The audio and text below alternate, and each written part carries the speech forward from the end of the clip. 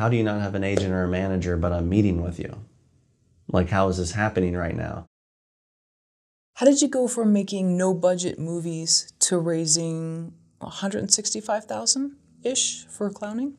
Yeah, so clowning came about in a very interesting way. The horror film we're going to be going into here soon, that picture we were in the process of building out, talking to different producers, executive um, executive producers for the horror film, and casting directors. And as we started to build that project, I I became more detached from it because the current producers that were there at that moment, they were going around and talking to investors, but they weren't bringing me to those meetings.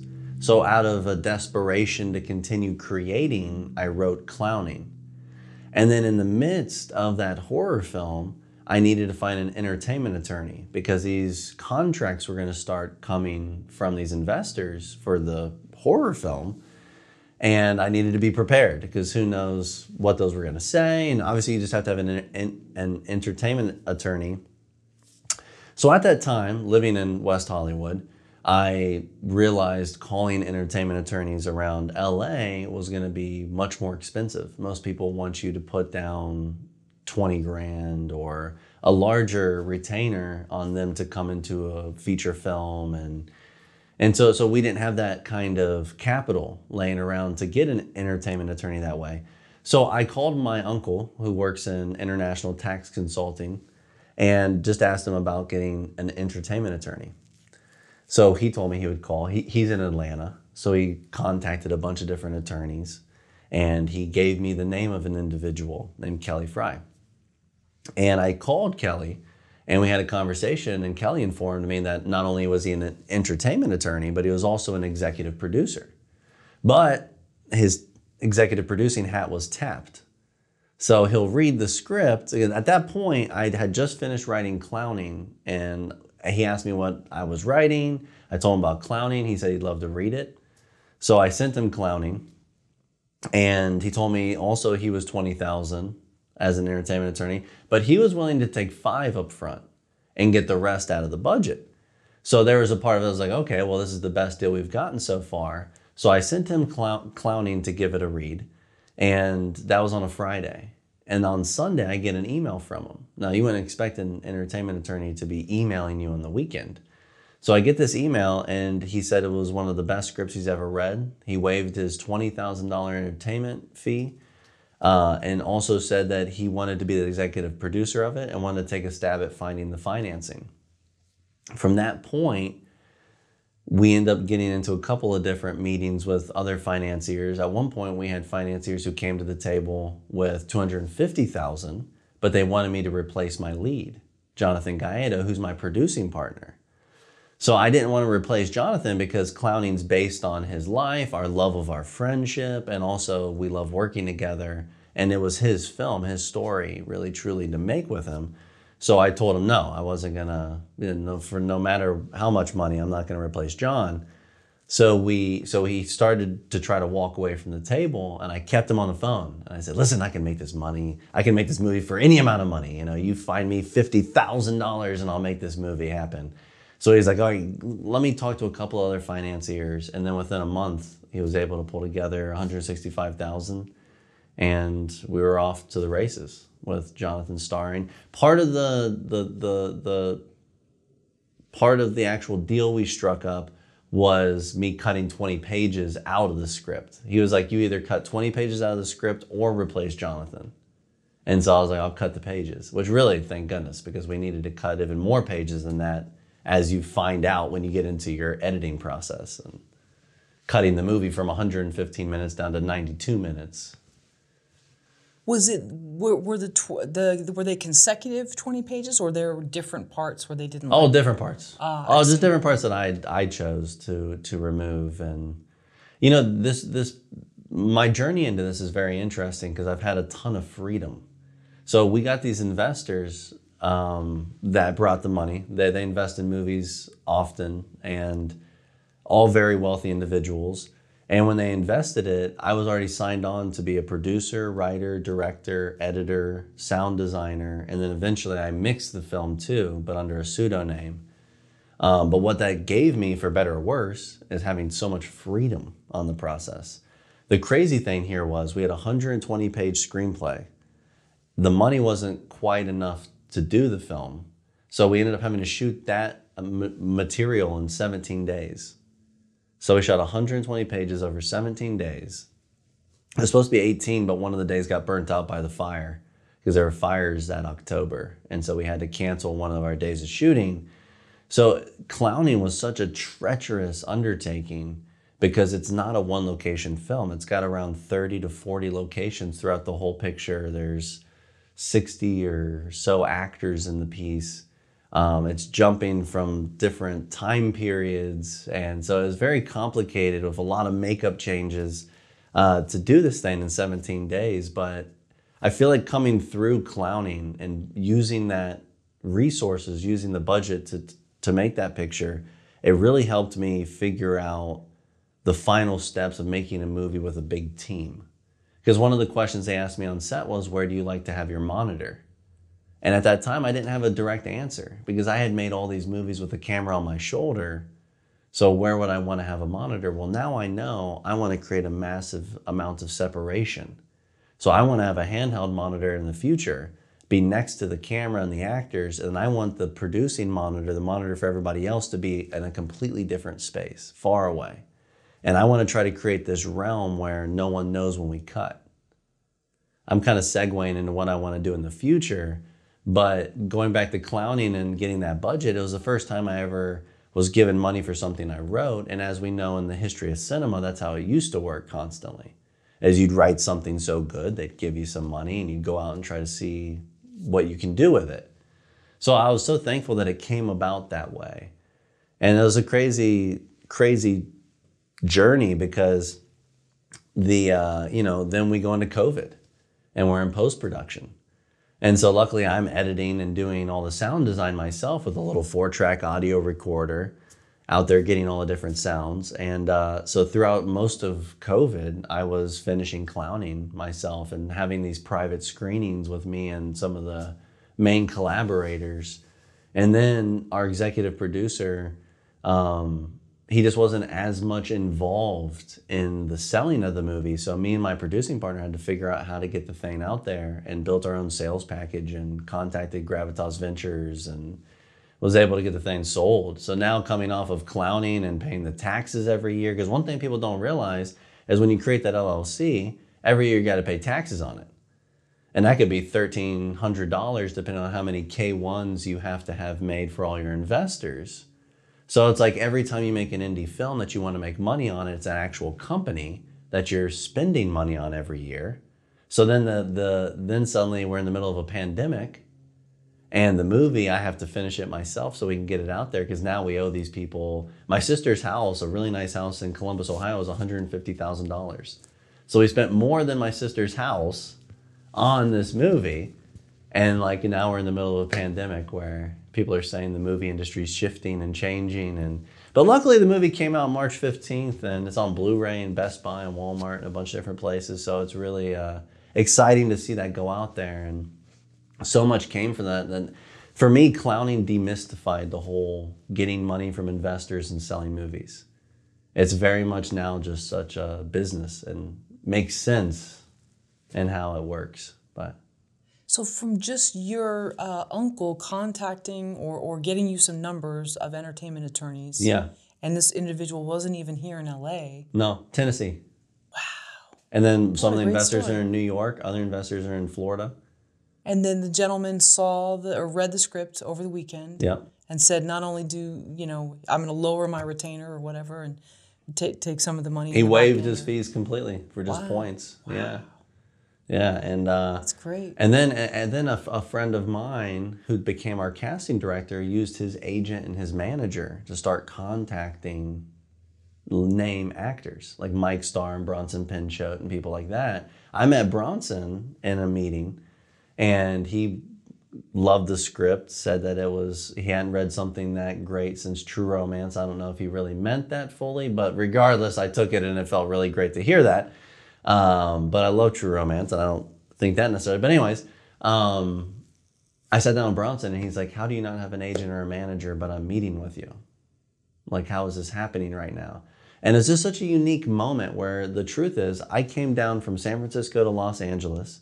I found an independent rental house and I went to this rental house. I was in the middle of a Hollywood production center. Are you familiar with those where, where, where, where you can rent little spaces for writing rooms and stuff like that? Yeah. So, so, so I went to a Hollywood production center and talked to this individual who owned his own rental house and convinced him to hire me. And then in the production, Hollywood Production Center, I went around to every single room and met everybody in the building I could. And then I called all the clients in this rental house.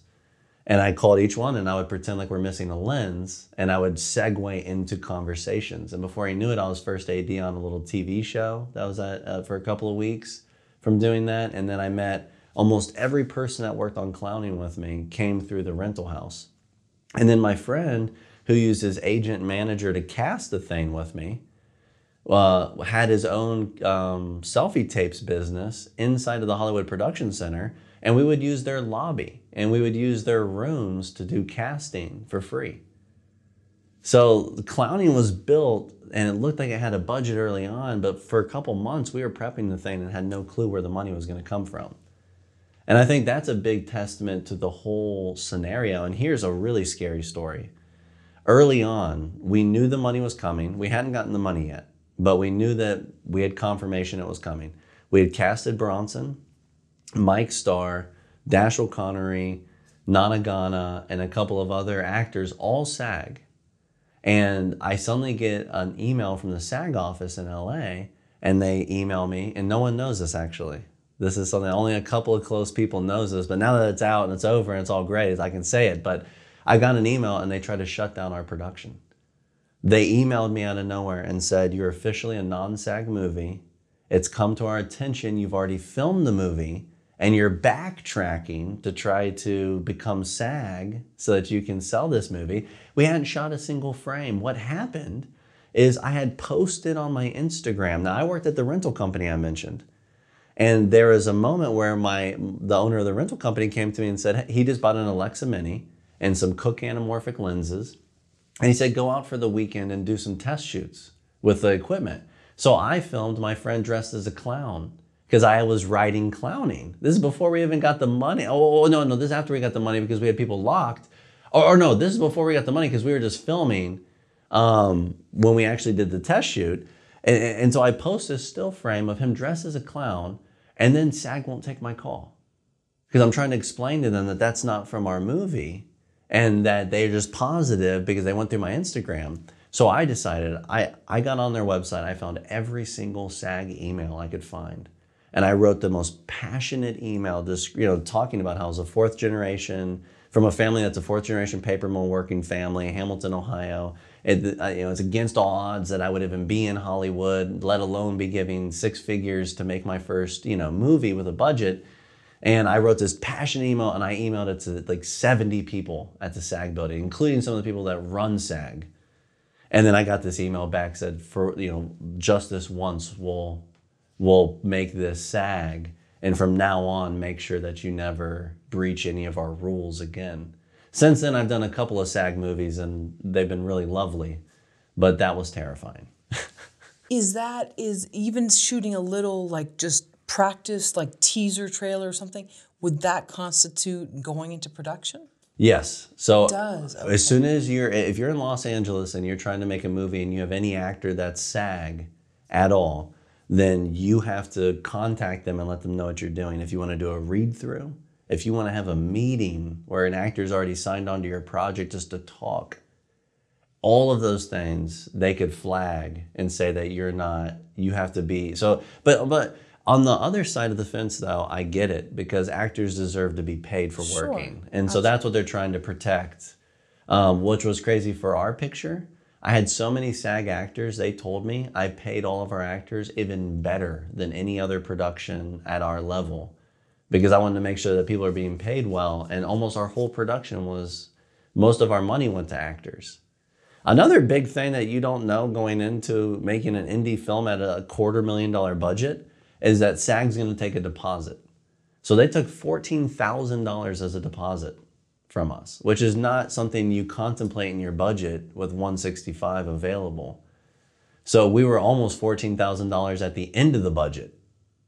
At the end of the shoot, at the end of the 17 days, we were like almost exactly $14,000 over budget.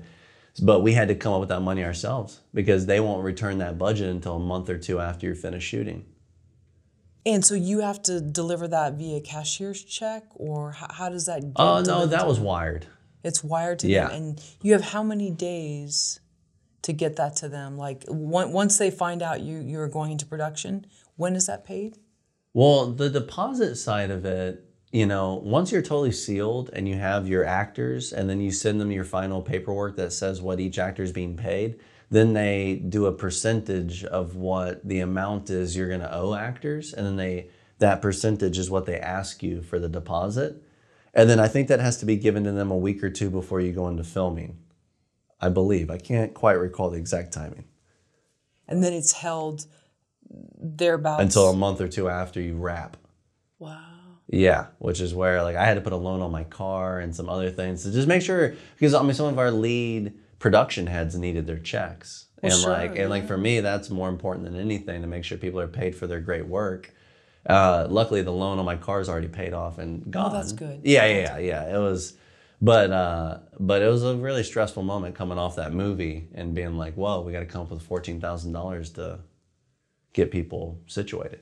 But but also I've heard now now that I've talked to a lot of people that have done quarter million dollar features, apparently it's very normal to go thirty to forty thousand dollars over budget on a movie like that. So I don't think we really even hardly went over budget at all when it really comes down to it. So you have those expenses plus you're paying on this LLC. Yes. That and do you close out the LLC once the No. movie is distributed? It's forever something you're going to be It's gonna be a company. for, for, for in for in perpetuity. So yeah. it's never until going until it's uh, I guess and then you would dissolve it later if it stopped making money. okay. But but like right now we have a 10 year deal with Gravitas Ventures, so so that movie will be out there for 10 years and as that 10 years is going on, I got to keep the bank account alive, got to keep the LLC alive. Um, all those things so then the money can come through and everybody can get paid. But you can see how quickly if you made multiple independent films and you're trying to create those vessels in which you can make money that they could drain your bank account very fast if you have a couple of those and you're making no money. Sure, but you said if you were making no money, you could theoretically dissolve Yeah. the LLC, but Yeah. then that would cut off all chances of Ever making something from that project. right. So you have to Yeah. decide: okay, is my film making no money? Do I cut my losses or do I hold out hope? Interesting. Wow. Yeah. And then, I mean, at the same about. time, I mean, now you have investors. You have people who have really given you money, their personal money from their bank accounts.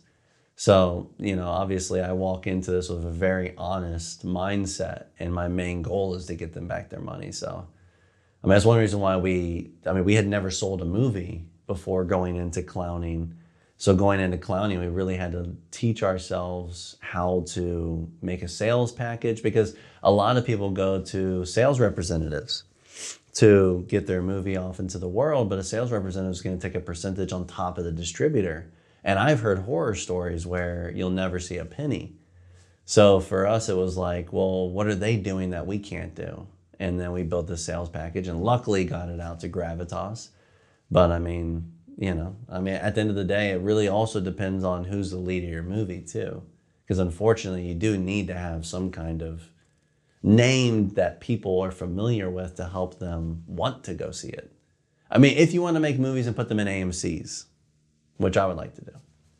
And so with Bronson Pinchot, did you watch Perfect Strangers growing up? Oh yeah, most definitely. My favorite Bronson performance that really melted into my mind's eye, like April 23rd, 2006 was when I decided to start making films. Well, probably a few years later I discovered the movie True Romance. And I watched that a billion times. So when I met Bronson the first time and he came in and talked about True Romance, my mind is like, whoa, I can't believe this is, you know, like Right. eight, ten years later, suddenly we're talking about this. Uh, but Bronson's unbelievable. I wrote a particular psychological thriller for him to star in. And I'm hoping that we do that soon. Um, he's gotten into an incredible health and just a great physical place. But you know, he's he's the hands down best improvisationalist Right. I've ever seen. I mean, just from the show, I don't know how much of that was improv of his character, but hilarious. Oh, he's so intelligent, so Yeah. funny, and uh, and and really is hungry to perform. Like if somebody's looking for a great actor out there, Bronson Pinchot is is is really just hungry to keep going. Did he stop acting for a while? For a little while there, he did. He was renovating houses. That's what I think I fun. remember. Yeah. Yeah. He, he- got into a. He, he has a passion to renovate houses and to redo things like that himself with his own hands. He'll send me pictures sometimes of uh, his own little rooms that he was doing during the pandemic. Or somewhere in upstate New York. I think I saw some. Yeah, and then he had a little reality show or something. Okay, maybe right? that's where I saw it. Yeah. And they like were following him a little bit while he was choosing houses and like choosing how to uh, renovate them. But oh, that's yeah. great. Yeah, but he's doing a lot of acting now. He's Very definitely back. Yeah.